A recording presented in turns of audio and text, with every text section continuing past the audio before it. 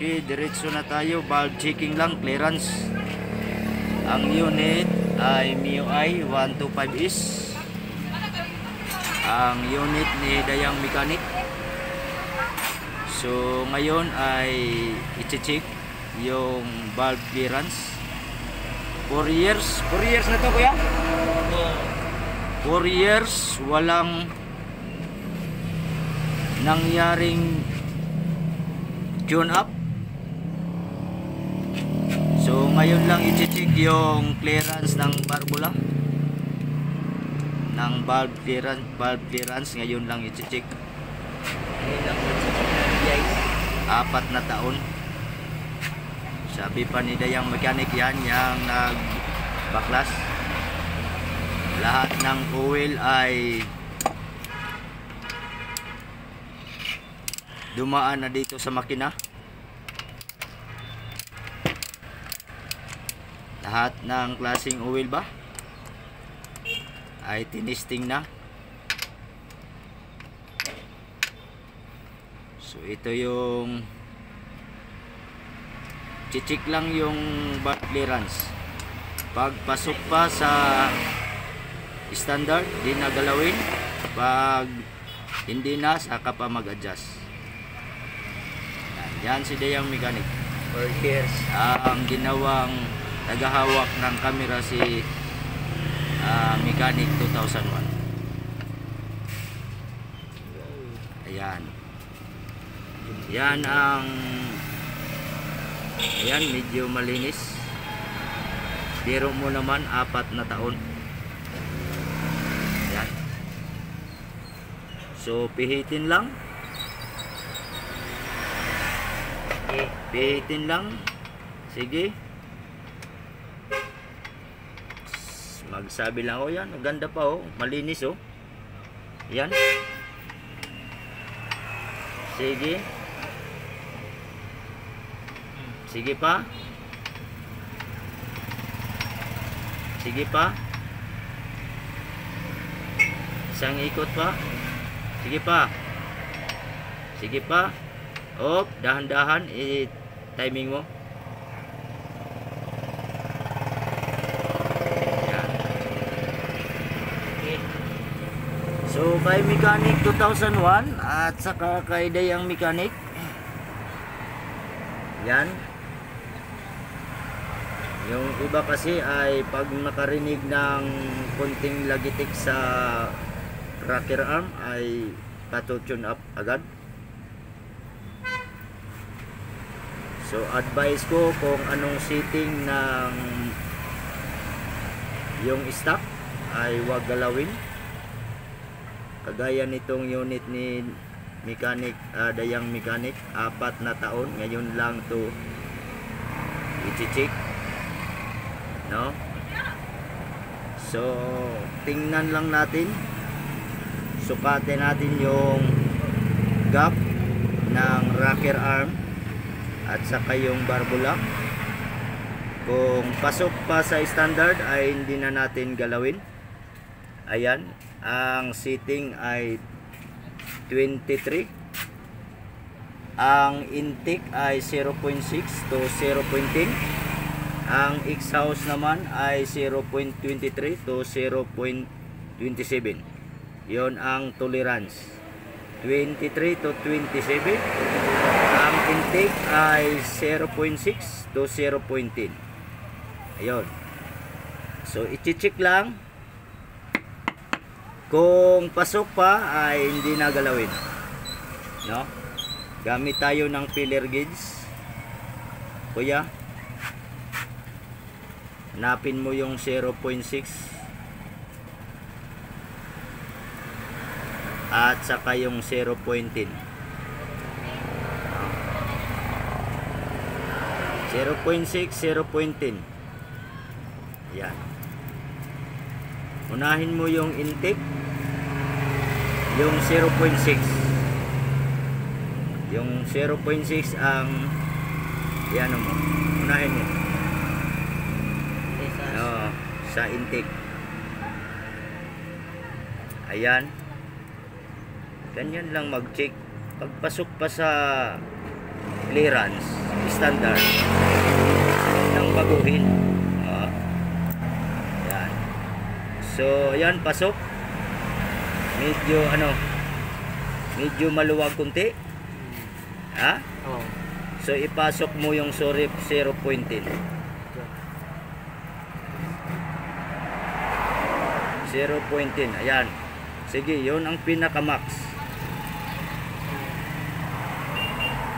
ayan sige. Yun ang tolerance. 6 to 10 Hmm.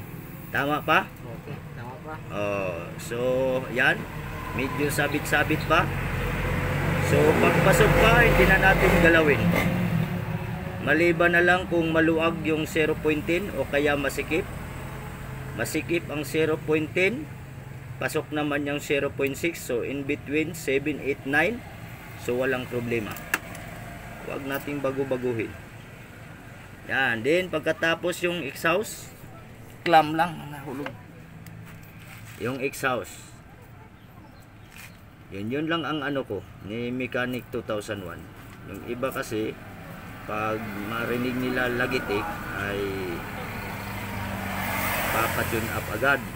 Ngayon pag patune up siyempre yung mekaniko maglilito yun. No? pwede naman ipa-check lang sabihin lang yung ah, gaya ng ginawa namin ni mechanic 2000 ah, 2001 mechanic ah, dayang mechanic. Pagpasok pa sa standard wag nang ipa-adjust. At least na check ayan di bali na magbayad. Di bali na magbayad sa labor. Basta pasok pa sabihin lang yung mga mekaniko. Ah, okay na yon wala nang problema. Siyempre magbayad ka talaga kasi labor charge yun ganun din. Kahit sabihin natin tama ah, luwagan niya ng mekaniko ay ibalik lang ganun pa rin. So yun ang setting ng manufacturer sige ipasok mo yung 0.23 kuya at saka 0.27 Wala.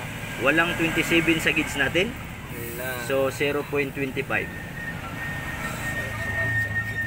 0.25 o unahin mo yung 0.23 mayroon? Oh, meron. O, 0.23 walang 0.23 so 20 ganun lang.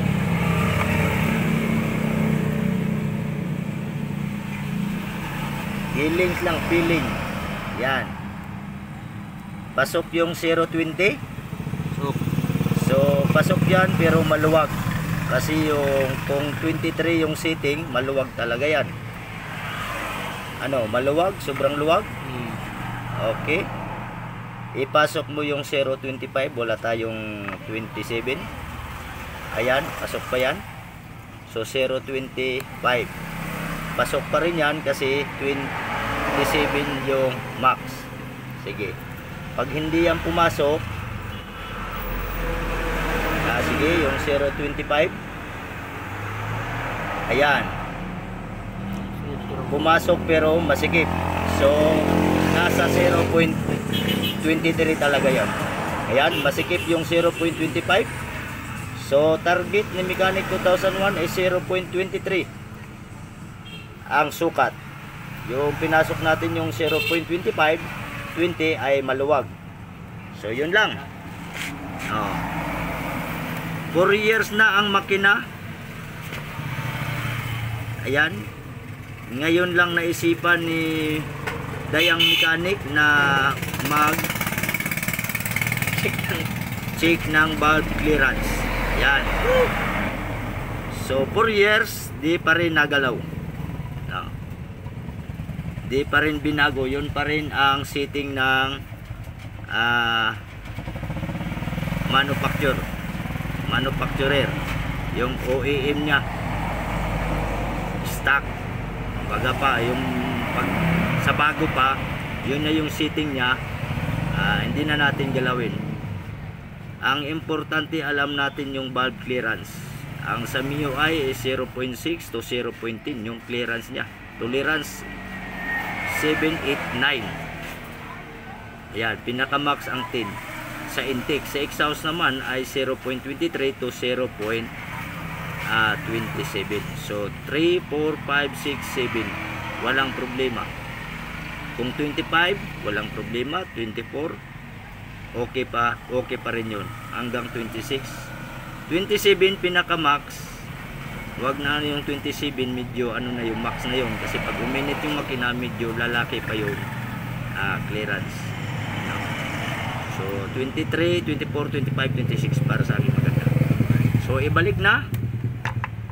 Ayan.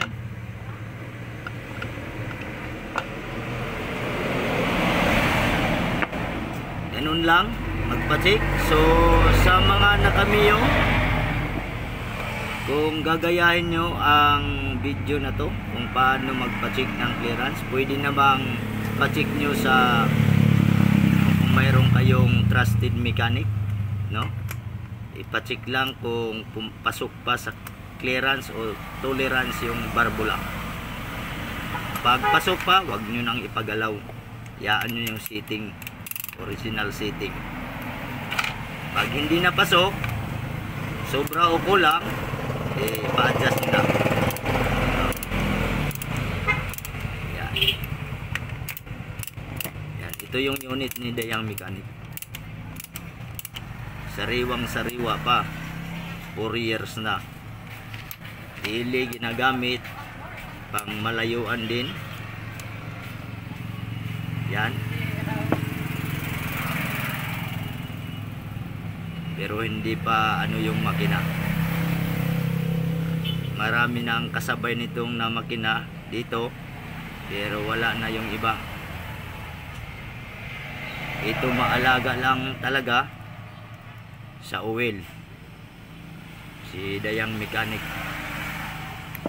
ang ano lang ni Dayang Mechanic wala siyang paki kung anong klaseng oil. Wala siyang paki kung oil man sa Yamaha kung oil man sa Honda kung anong klaseng oil. Ilalagay niya. Bahala sa Ah. siya guys. ginagamitan rin ito ng polysynthetic. Iba-ibang klaseng ng polysynthetic. Sige start mo. Try natin. Try yan. Yan pa rin ang tunog. Kahit ako rinig ko yung ano ng rocker arm no? Ayan yan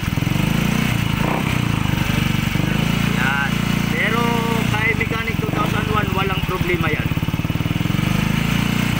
oh.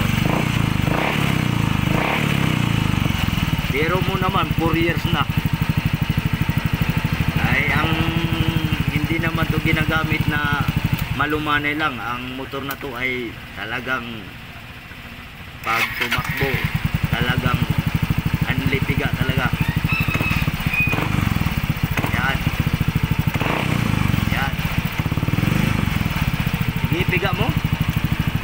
Sa 4 years yan napakaganda pa okay. Ah para hindi na umaba ang video sa lahat ng nag-subscribe. Di ko man kayo kilala pero alam ko kung gaano na kayo karami. Salamat sa inyong suporta guys. Thank you so much sa mga hindi pa nakapag-subscribe. Ah, baka mapagbigyan nyo si Mechanic 2001 sa mga nanonood na hindi pa hindi nakapag-subscribe baka naman. Salamat din sa inyong panonood. Diyos sa lahat. Marami tayong i-upload kaso lang si Dayang Mechanic ay busy pa sa pag-edit kasi nag-aaral din to. O, minsan wala dito sa ano dalawang araw makabalik dahil malayo yung school ito yung gamit niya yung school niya ay mula rito ay tatakbo ng halos ah, 50 kilometers